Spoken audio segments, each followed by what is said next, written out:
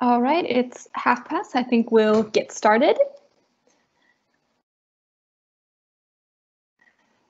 So my name is Hannah Okert Axelson. I'm a product manager at Accurx. I'm joined by my colleague Vivek Matthews, who will be helping answer questions. So please do use the live chat function um, to ask questions. We're going to be demoing our product ChainSMS, which is a desktop-based um, application that integrates with EMIS Web, um, and just going to show you some basic functionalities of it, but then also how to make the most of, of, of what we have to offer. So let me just switch my screen here. And um,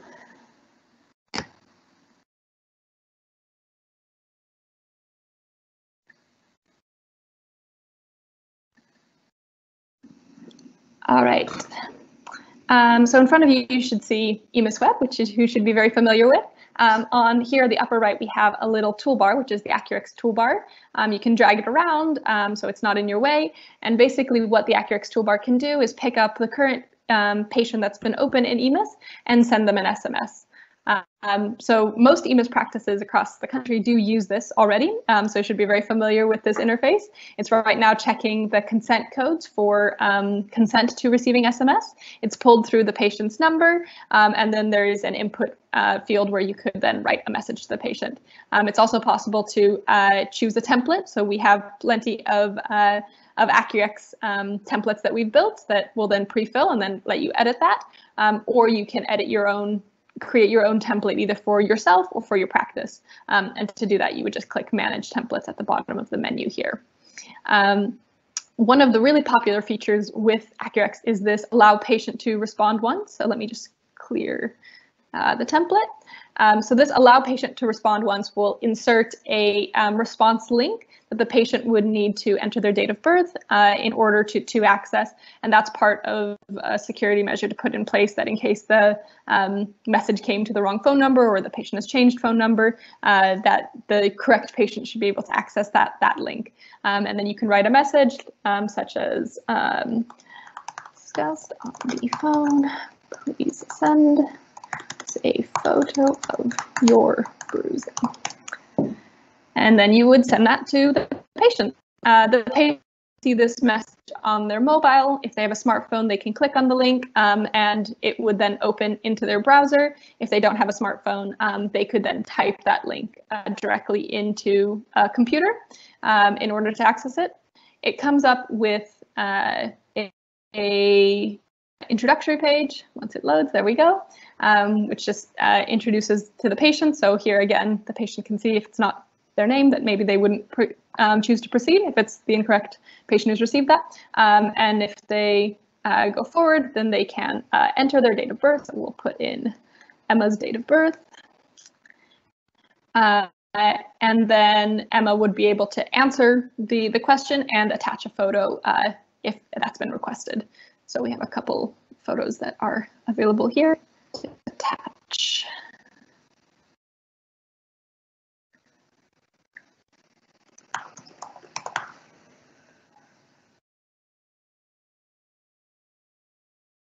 There we go. So when the patient submits that form, a notification will come up on the Accurx toolbar.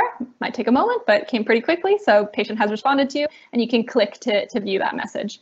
Now, this is something that we've uh, been working on quite a lot recently, um, how messages can be received and managed by a practice. And this is where we're going to look at some details of how uh, we can suggest that this can be uh, uh, improved upon for your practice. So in a lot of practices, we hear that uh, if a patient calls up in the morning asking for an appointment and the receptionist um, can understand that there potentially is a, a physical um, side of that of their ailment, that it can be uh, good for them to request a photo even before they have a chance to, to speak to the doctor or the nurse.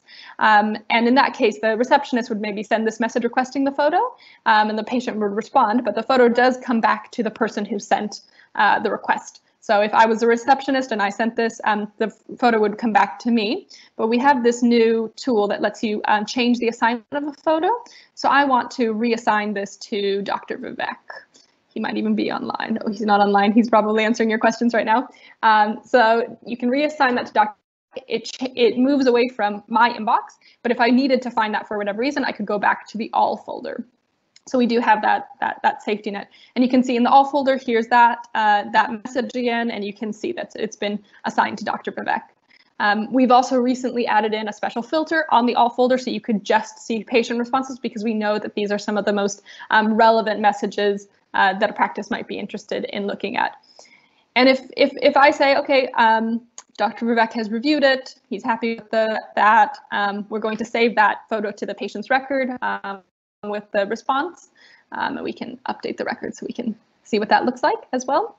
Um, so that will that will save into the consultations view of the um, medical record once that has a chance to, to connect. Um, what you can then do in order to help keep, keep the inbox tidy and to ensure that only messages that um, are new and have not yet been actioned um, have been taken care of, you can then press mark is done. So I'll wait until that press mark is done. Um, the nice thing about using the done function, which is basically an archive function, um, is that you then are able to um, keep that box uh, tidy and that you would know that only these messages here have been unactioned or still require further action um, and therefore can can can be a, a, cleaner view for the practice to look at. So I think it's still, there we go, saved to record. Might need to update the, um, the record again um, but it, will save in, into the record and it will have that attachment there, which is saved into documents. Um, so you should be able to see the initial message that was sent, um, the response that the patient gave, and then the photo. Um, we do compress the photo um, when it is saved into the record, and that's obviously because of, uh, of, of, storage space within EMIS, um, and, and we don't want to overload the medical record um, but you would still have access to the original resolution of the photo by clicking it in the Accurx inbox. So even if this message was then marked as done, um, if I want to mark it as done, um, you would still be able to find that within the done folder. So you could see that, that message um, and you would still have access to the full resolution of the photo if that was necessary. Um, uh, and, and that would yeah, exist within that inbox. Um, another thing that I wanted to, to just uh, draw is a patient right here. So if you click on this, you'd be able to see all messages related to that specific patient. So you'd be able to, to see other messages that had been had been sent, um, uh, as well as other photos that had maybe been sent in or responded to. Um, and, and you can then kind of see the, the history of that communication with that patient.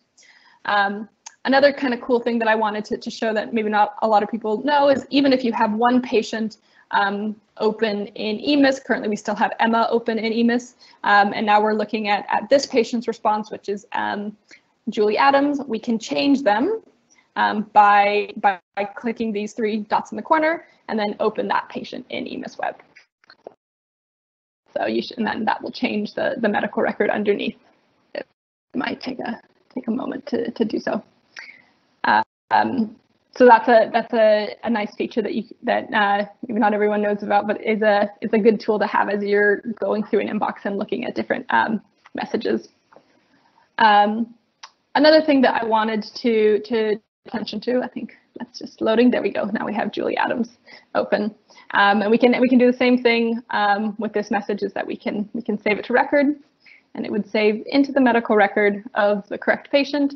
Um, and then you can also, of course, mark things as done or uh, make sure to process them in the appropriate way. That might be taking a little bit of time. So another thing I wanted to, to, to show is that we are in the process of rolling out an ability to um, send uh, video consultation messages via email. This is a request that we get because we know that um, a lot of patients maybe have a device that doesn't have a SIM card such as an iPad or a computer where they would like to conduct their video consultation.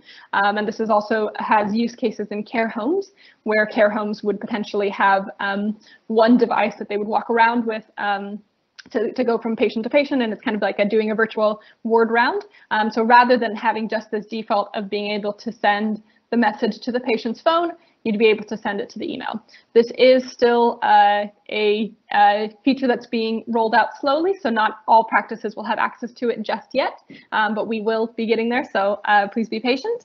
Um, some things to note with email, email is very different than SMS. We can we do not have um, all of the consent codes for email just yet. Um, this could be something that we look at in the future, but currently it's not uh, something that we are able to verify. So it is the choice of the sender to decide um, that they do want to email the patient. Um, in many cases, if you've been on the phone with the patient and they've asked you to email, it makes complete sense. Um, we also aren't able to pull verified um, email addresses from the record just yet. Uh, so it is up to, to you to either get that from the record or to, to speak with the patient to be able to decide what email address to, to send that to. Um, otherwise, it works in the exact same way. So I will use my email address to, to send. Um, so you'd be able to send that message in the exact way. Um, and it would then be delivered to the patient's uh, email. It does have a disclaimer about the um, the email not being replied to. Uh, the this is some still something that we are working out. So again, why we're rolling it out slowly to, to really figure out all of the, the kinks before we go full. Um, but uh, the patient is then able to obviously join um, via their, their if they clicked on that link, they can then join, uh, sorry, via their, their non-SIM device, so via a uh, iPad or a tablet or a desktop.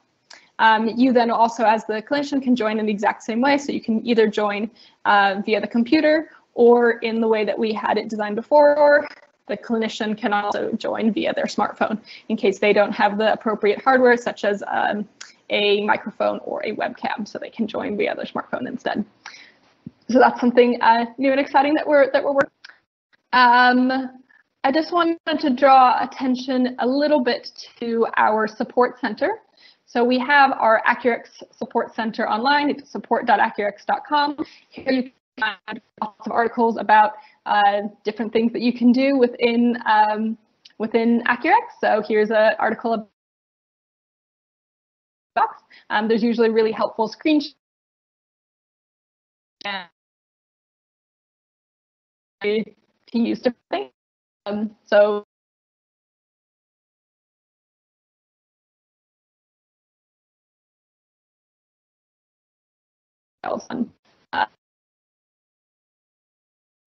and here you can see that this has been linked to um, an article about reassignment. So you can click on that article um, and you would you would also find out about reassignment, which is one thing that I that I demoed. So here we see even a, a GIF of uh, failed SMS and how to um, manage it between the done folder and the open folder. And we have some circles here on, on how that works.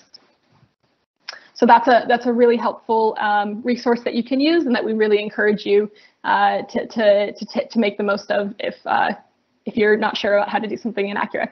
Um, if for whatever reason that um, doesn't answer your question, you can always chat to our support via this little chat icon. Um, we have a really great support team um, that is able to, to answer also uh, help field requests